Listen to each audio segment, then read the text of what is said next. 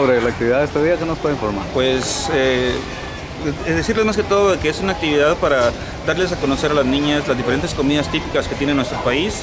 Al mismo tiempo, eh, ellas van a poder trabajar un poco lo que es productividad de desarrollo, formación ciudadana eh, y la, área de ciencias, perdón, el, área de, comunicación. ellas, junto a sus madres, elaboraron los productos que están ofreciendo hoy. es una actividad que trabajaron en conjunto con sus madres, cada quien trabajó en su casa eh, ya trajo el producto ya terminado aquí en el, aula y lo que están haciendo es dando a conocer eh, lo que es la receta, la forma de preparación y una pequeña historia, una anécdota de la, de la comida. ¿De ¿Comida solo jutiapanecas o de algunos otros eh, departamentos? Es más que todo comida jutiapaneca y un poco de diferentes del, del país.